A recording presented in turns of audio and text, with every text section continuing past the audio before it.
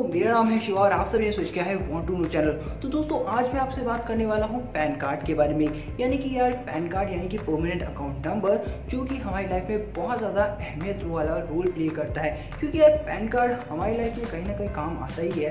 क्योंकि अगर आपकी एज है एटीन प्लस तो आपके पास पैन कार्ड होना चाहिए। क्योंकि यार, इससे ना आप अपने लीगल ट्रांजेक्शन कर सकते हैं। वहीं गैस देखा जाए तो पैन कार्ड का यूज़ आपके बैंक अकाउंट को ओपन कराने में भी आता है। अगर आपके पास पैन कार्ड नहीं है ना तो आपका बैंक अकाउंट भी नहीं खुलेगा तो यार बहुत ही ईजी स्टेप है पैन कार्ड को ऑनलाइन अपने पैन कार्ड को बनाने का। तो मैं आज आपको बताने वाला हूँ वही वाला स्टेप तो वीडियो को एंड तक ज़रूर देखिएगा।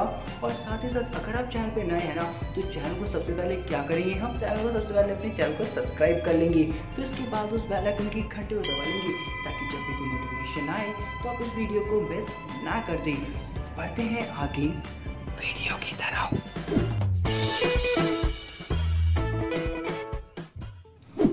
हम लोग बात करते हैं, हम बात करते हैं पैन कार्ड को ऑनलाइन अप्लाई करने के बारे में। तो दोस्तों, पैन कार्ड ऑनलाइन कैसे अप्लाई करा जाए? तो गाइज़ उसके लिए आपको एक सिंपल सा स्टेप फॉलो करना है। तो उसके लिए आपको क्या करना है? आपको जाना है गूगल के ऊपर। गूगल के ऊपर आप सर्च कीजिए W dot online services dot N S D L dot com तो उसके बाद आपके सामने एक इस तरीके की वेबसाइट खुल जाएगी, जो कि गवर्नमेंट द्वारा अप्रूव्ड है। उसके ऊपर आपको क्या मिलेगा? आपको 49 ए या फिर 49 ए ए करके एक फॉर्म मिलेगा। उसको आप फिलअप कर दीजिए। उसके बाद आपसे पूछेगा, भाई साहब, आपको पैन कार्ड कौन सा चाहिए? ई पैन कार्ड या फिर फ़िज़िकल पैन कार्ड तो आप अपने हिसाब से चूज़ कर लीजिए। फिर उसके बाद वो पूछेगा आपसे पेमेंट का ऑप्शन जहाँ पर आप डेबिट कार्ड क्रेडिट कार्ड या फिर दूसरे ऑप्शन से भी पेमेंट कर सकते हैं। और उसके बाद आपको पूछेगा, वो आपको रिसिप्ट देगा पहले तो।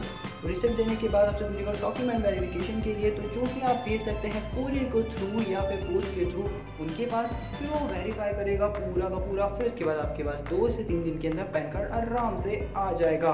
और गाइस वैसे आपको बता दूँ कि यार, अगर आपको डॉक्यूमेंट्स में कुछ चेंज कराना है या कि आपके पैन कार्ड के अंदर कुछ भी चेंज कराना है तो भी आप इस तरीके का अप्लाई कर सकते हैं फॉर्म और आराम से भर सकते हैं। और अप्लाई करने के लिए एक और चीज़ होती है कि आप U T I I S L के ऊपर भी जा सकते हैं। ये भी गवर्नमेंट द्वारा ऑथराइज वेबसाइट है, जहाँ पे आप ऑनलाइन अप्लाई कर सकते हैं पैन कार्ड के लिए। वहीं गाइस अगर देखा जाए तो पैन कार्ड अगर आपके पास एक से ज़्यादा है तो आपके लिए खतरे की बात है, क्योंकि according to the income tax act 1961 272 B के तहत भी अगर आपके पास अगर एक से ज़्यादा पैन कार्ड पाए जाते हैं तो आपके पास दस हज़ार तक का पेनल्टी लग सकता है।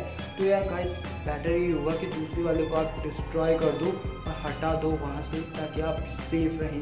तो गाइस उम्मीद करता हूँ कि आपको वीडियो पसंद आया होगा। अगर यह वीडियो पसंद आया तो यार सिंपल सा काम यार लाइक कर दो शेयर कर दो कमेंट कर दो। और हाँ चैनल को भी सब्सक्राइब कर दूँ। मिलता हूँ आपसे अगली वीडियो के अंदर, जहाँ पर हम जानेंगे किसी नई खबर के बारे में या फिर कुछ अच्छी से इन्फॉर्मेशन के बारे में। तब तक के लिए बाय